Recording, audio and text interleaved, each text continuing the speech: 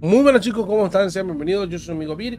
Vamos a hacer la pequeña prueba de Arlequino, ¿vale? Si bien el, el equipo que está aquí, bueno, es un equipo bastante interesante, sobre todo Sokuros, Inkyu, perdón, y Toma, sobre todo Toma para protegerlo y vamos a probar. Es la primera vez que voy a probar a Arlequino en ese sentido, vamos a ver qué tan impresionante es el personaje, ¿vale?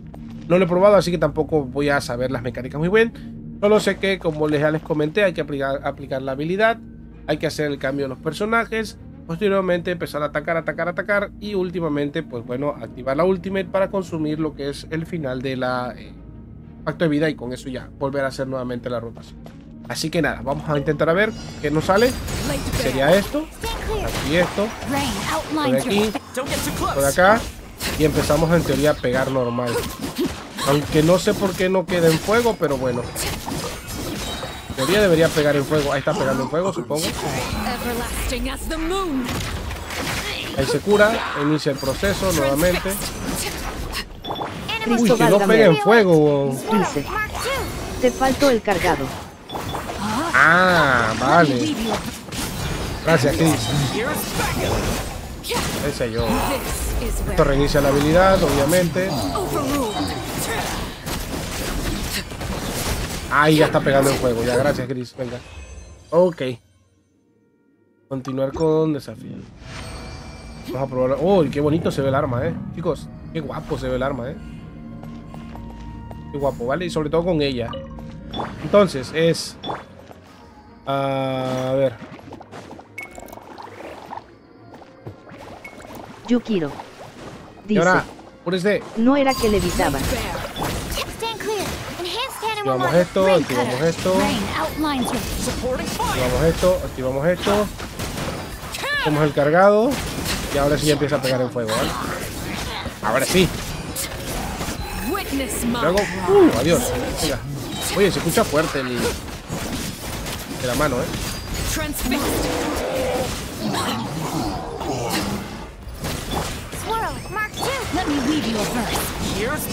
Me llamó la atención que sí conserva el. Sí conserva el daño a pesar de que hace el, cambio de, de. ¿Cómo se llama? De fases. Así que nada, chicos, me ha parecido bastante interesante. Sobre todo porque pega bastante bien. Con 77 y 140, 120 de daño. ¿Vale? Más lo del pacto que hace aquí. Más lo del pacto del arma. Yukiro. Pues al final sí hace bastante Dice. dañito, ¿vale? Dios. Está bien. Imagínate y esas builds tan paches. Al final está bien el personaje, yo lo veo bastante bien. Esto es el cambio normal, rotación. Si quieres meterle a Vélez por más daño, ahí la acabo de cagar. Entonces no pasa nada, se reinicia la habilidad. Haces un cargado, empiezas a pegar. ¿Vale? Está bastante bien, te pones un escudito por cualquier cosa. No pierde como tal el, el fuego porque haces otro cargado y le sigues pegando con fuego. Lo que sí es que se te baja el pacto de vida bastante rápido. Yukiro. Lo único malo. Dice. La. Levita. Pero ¿cómo voy a limitar, cabrón? Si, si estoy en batalla.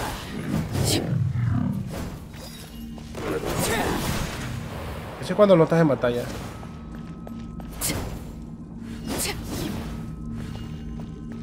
Pero bueno, o sea, sí va muy rápido, la verdad es que sí va rápido. Levitar. Uf, rapidísimo. wow.